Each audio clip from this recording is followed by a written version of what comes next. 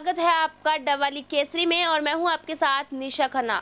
लगातार चुनावी सफ़र आपको दिखा रहे हैं, चुनावी कवरेज दिखा रहे हैं और चुनाव को लेकर अलग अलग जो चेहरे हैं, जो कि प्रत्याशी के रूप में मैदान में नज़र आ रहे हैं, उनसे रूबरू करवा रहे हैं। उसी के तहत आज हम पहुँचे हैं वार्ड नंबर 12 में। वार्ड नंबर 12 की जो कांग्रेस पार्टी से प्रत्याशी है, ज्योति रानी मेरे साथ मौजूद है। किन मुद्दों के साथ चुनाव लड़ रही है? क्या क्या प्रॉब्लम है जो कि उनको आ रही है फ़ील्ड में चुनाव के समय? बातचीत करेंगे और विकास के मुद्दे क्या लेकर चली है अपने जहन में? जी सबसे पहले आपका स्वागत है मैडम। नमस्कार जी। मैडम देखिए चुनावी बिगुल बच चुका है। क्या मुद्दे लेकर चले हैं आप चुनाव को लेकर? जनता में कोई भी प्रॉब्लम ना आए किसी तरह भी हमारी गली में कोई किसी की भी गली में कोई प्रॉब्लम ना आए पानी की समस्या जो भी समस्याएँ हम सारी दूर करेंगे। देखिए वार्ड के अंदर टोटल वोटर्स कितने हैं? 1900 के करीब हैं जी। वार्ड के अंदर कितना एरिया इंक्लूड है? जैसे कि निरंकारी भवन की बैक साइड होगी चौटाला रोड हो गया कॉलोनी रोड हो गया ये सारे एरिया वार्ड के अंदर क्या क्या प्रॉब्लम्स हैं? वार्ड के अंदर जो भी है जैसे कि सीवरेज की प्रॉब्लम चल रही है हमारी गली में सफ़ाई की प्रॉब्लम ज़्यादा है लोगों को।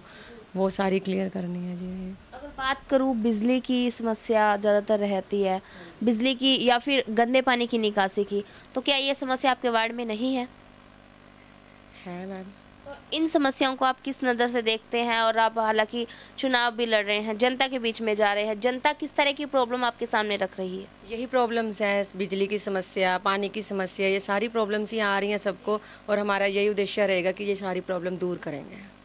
वार्ड के अंदर जा रहे हैं जनता की ओर से किस तरह का रिस्पॉन्स मिल रहा है आपको? बहुत अच्छा बहुत बढ़िया सारे साथ खड़े हैं। किसी तरह की अभी तक तो कोई समस्या नहीं आई है जी। तो जिस तरह की वार्ड की बात करूँ वार्ड के अंदर मुख्य समस्या क्या आपके सामने आ रही है? सफ़ाई की समस्या है जी थोड़ी पानी की समस्या है सीवरेज की ज़्यादा समस्या है लोगों को। ये समस्याएँ हैं। जैसे बात करूँ हर वार्ड के अंदर कुछ ना कुछ बड़ी समस्या रहती है चाहे आवारा पशुओं की मान लूँ या स्ट्रीट लाइट की मान लूँ या फिर और तमाम समस्याएँ जो वार्ड में देखने को मिलती है। क्या आपके वार्ड में पूरा पार्षद ने पूरा विकास करवा रखा था? अभी तो जानवरों की समस्या है आवारा पशुओं की समस्या है। तो देखिए वार्ड के अंदर नशे की समस्या भी देखने को मिलती है। बिल्कुल सही है है ये समस्या। आप किस नज़र से देखते हैं? चुनाव लड़ रहे हैं चुनौतियाँ आ रही है पार्षद के रूप में लोग आपको चुनेंगे तो आप किस तरह उन समस्याओं को दूर रखेंगे? हम बिल्कुल दूर करेंगे हमारा यही तो मकसद है कि इन समस्याओं को दूर करें भाई। सारी हमारी जनता हमारे साथ है हमारे भाई भाई बहन सहयोग कर रहे हैं। तो आप अपना मुकाबला किसके साथ मान रही है? क्योंकि आपके यहाँ पर जो वार्ड के अंदर है अनेक पार्टी से कैंडिडेट हैं। हमारा किसी से मुकाबला नहीं है जी हमारा। हमारा इन प्रॉब्लम्स के साथ मुकाबला है कि इन प्रॉब्लम को हल करना है हमने मिल मिलकर सबने जनता का सहयोग है सब में कोई भी हमारा अपोजिट नहीं है। यहाँ के जो विधायक है कांग्रेस पार्टी से है।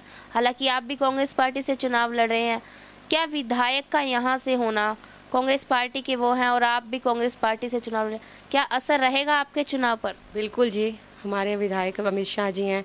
वो हमारे कांग्रेस के विधायक है तो वो हमारे साथ हैं तो हम तो बिल्कुल उनके साथ हमारे। देखिए वार्ड के अंदर तमाम समस्याएँ आपने बताई। पार्षद के लिए उम्मीद हर कोई लेकर चलता है। हार जीत इंसान की किस्मत है। तो उससे पहले मैं आपसे ये जानना चाहूँगी कि कौन सी ऐसी बड़ी समस्या है जो कि अगर आप जीत हासिल करते तो सबसे पहले यहाँ की जनता को उससे मिजाज दिलाओगे? सारी समस्याओं से ही ज़्यादा आएँगे जी हमारा तो यही मकसद है। जी बड़ी समस्या। आवारा पशुओं की हो गई सफ़ाई की हो गई बिजली की हो गई लाइटिंग की प्रॉब्लम होती है थोड़ी बहुत सारी दूर करेंगे मैम लगातार आप जनता के बीच में जा रहे हैं। अगर मैं बात करूँ पिछले पार्षद की तो पिछले पार्षद को लेकर जनता की ओर से किस तरह का रिस्पांस मिल रहा है? क्या उन्होंने काम करवाया या फिर उनको लेकर समस्याएँ भी कुछ जनता रख रही होगी? उसके बारे में क्या कहूँ जी बिल्कुल जो पूर्व पार्षद थे उनमें लोगों को काफ़ी प्रॉब्लम आई है। जैसे कि लोगों को कोई प्रॉब्लम थी, लोगों को बार बार चक्कर लगाने पड़ते थे, उनकी कोई सुनाई नहीं होती थी। मेरा मकसद यही है, अगर भगवान चाहे तो और जनता चाहे तो एमसी बन गए तो हम अपना एक व्हाट्सअप नंबर इशू करेंगे, जिसमें जिस लोगों की जो भी प्रॉब्लम होगी, उस नंबर में बताएँ, उस प्रॉब्लम का सोल्यूशन सुबह ही निकाल दिया जाएगा। धन्यवाद। चुनाव को लेकर बातचीत की, चुनाव को लेकर समस्याएँ बताई, वार्ड के अंदर जा रहे हैं। हालाँकि बात करें, पहली बार ये यहाँ से चुनाव लड़ रहे हैं। काफ़ी प्रॉब्लम्स भी इनको आ रही है। लेकिन इन्होंने बताया कि समस्याओं से हमारा मुकाबला है। मैदान में अलग अलग पार्टी के कैंडिडेट हैं, उनसे हमारा मुकाबला नहीं है। मुकाबला तो सिर्फ़ यहाँ का जो विकास है, उसके साथ मुकाबला है। अब ये तो आने वाला समय बताएगा कि मैदान के अंदर अलग अलग पार्टी के चेहरे तो हैं, लेकिन कौन बनेगा यहाँ का पार्षद? वार्ड नंबर 12 की जनता है जो कि किसको चुनती है, ये तो समय बताएगा। तो इसी तरह लगातार आपको चुनावी कवरेज दिखाते रहेंगे और हर एक वार्ड में जाकर जनता के मुद्दे तथा वार्ड के अंदर जो चेहरे हैं, मैदान में आए हुए हैं, उनसे भी रूबरू करवाते रहेंगे। तब तक इसी तरह आप देखते रहिए। डब्वाली केसरी और मुझे दीजिए इजाज़त।